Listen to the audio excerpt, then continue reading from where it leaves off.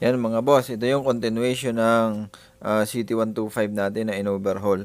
So, uh, ipapakita ko sa inyo dito mga boss yung uh, may minodified tayo dito mga boss na oil passage. So, uh, ang purpose ng mga boss ay para malubricate ng maayos yung uh, needle bearing dito sa kaliwa. Kasi kalimitan talaga kay CT125 mga boss ay nagkakaroon ng uh, sira lagi yung needle bearing. Kaya, ang ginawa natin mga boss, meron tayong modification dyan sa parting yan para lumabas yung langis. Magkaroon siya ng sariling oil supply dun sa kanyang needle bearing. So, ayan ang ginagawa mga boss, padyak-padyak lang ito. Pero ayan, makikita nyo, nababasa na yung uh, crankcase. So, maya-maya niya mga boss, uh, marami na yung lalabas. Diyan na lang is, ayan o, oh, yan, dyan sa parting yan mga boss, may sarili na yang oil flow. Ayan. Ganyan yung modified natin pero hindi ko muna ilalabas mga boss kung paano ko ginawa. Pinakita ko lang sa inyo kasi uh, under observation pa. Pero ito mga boss kita ko na, na mas tatagal yung kanyang needle bearing. Hindi hindi agad masisira or hahaba yung lifespan nung needle bearing mga boss. Hindi katulad nung dati. Kaya yon yun yung ginawa natin mga boss. Uh, ibinahagi ko na lang sa inyo mga boss, pero ito'y ano nga uh, sa sunod ko na lang siguro ibabahagi kung paano natin ginawa. Pero pinakita ko na nga lang sa inyo kung paano siya naglulubricate doon sa needle bearing.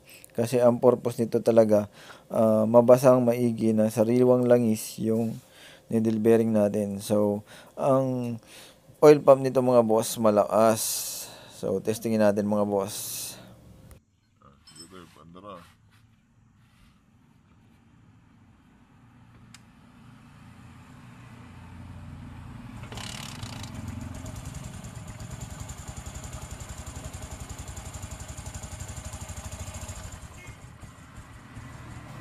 At yun, nakita nyo naman mga boss, napakalakas nung kanya supply dun sa cylinder head. So ito, uh, buksan uli natin yung lugar na target natin na ma-lubricate ng maayos yung needle bearing. So tinanggalan natin ulit itong kanyang magneto cover. Uh, wala itong gasket mga boss kasi nagtra-trial lang tayo. Pero ayan, makikita natin punong-puno na agad ng langis yung oil catch dun sa kanyang needle bearing. Kaya yon. Uh, sa tingin ko mga boss, kung mapapansin nyo yung starter gear, ayan o, oh, punong-puno na siya ng langis. Kaya malaki na yung chance na mapupunta yung mga sariwan langis dun sa ating needle bearing. Kasi yun lang naman ang problema ni CT125 at ni CT150i. Uh, ah, yung mga needle bearing ang nasisira. Halos pare-parehas kapag ka uh, kulang sa lubrication ng langis. Kaya yon ito ang ginawa natin mga boss. Ito ay ano lang, uh, pasilip lang mga boss kasi uh, mahirap tayo maglabas na wala pa tayong uh, nagagawang testing na matagal. So ito, basang-basa na siya ng langis mga boss. Kaya ibig sabihin, uh, tatagal na yung kanyang needle bearing. Yan, ito. Binaklas uli natin mga boss. Itinakbo ko ito kasi meron ng gasket eh. Binaklas uli natin para makita natin 1 kilometer lang yung pinatakbo ko nito mga boss. Kita nyo naman, babad na babad yung kanyang needle bearing.